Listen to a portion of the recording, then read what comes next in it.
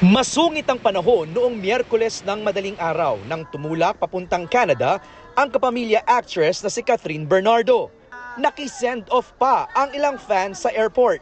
Hindi ko alam kung ano ma-feel ko, but definitely I'm very excited kasi finally natuloy na. Um, preparations, um, you know, the usual, the, we did the look test, um, meetings, um, i-discuss yung, um, yung sa characters. Nasa Calgary na ang team ng Hello Love Again at sa Sabado naman ang biyahe ng co-star niyang si Alden Richards. I'm still in the process.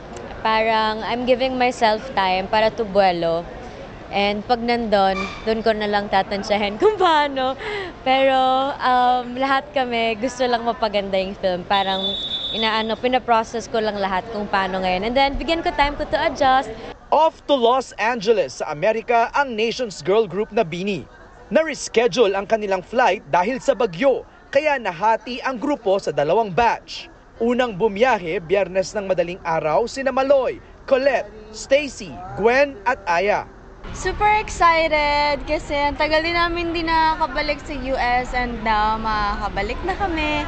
And of course, KCON, isa to sa mga dreams namin talaga na makapag-perform sa international stage. After na dyan yung Canada namin, syempre first time namin mag-perform, dadalhin namin yung Beaniverse sa, ka- sa Canada. I have um, relatives in Canada. Oh, wow! Yes, I'll see them for how many years na hindi ko silang nakita. Sumunod naman, biyernes ng hapon, sina Jo, Sheena at Mika.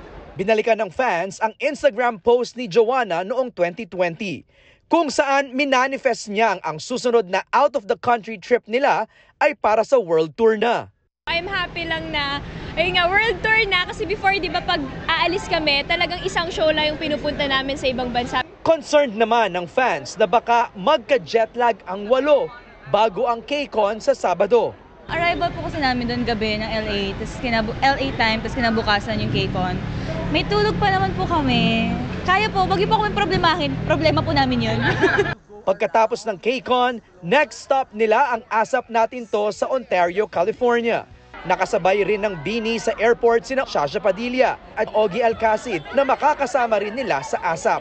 Pero dadaan muna sina Ogie at Shasha sa Toronto para sa TFC 30 Happy Hour event kasama ang BGYO. MJ Felipe, ABS-CBN News. Tuloy-tuloy po ang ating pagpapatrol sa bayan mula lunes hanggang biyernes sa TV Patrol. Alas 6.30 ng gabi hanggang Sabado at Linggo sa TV Patrol Weekend. Sa bago nitong oras, alas 5.30 ng hapon.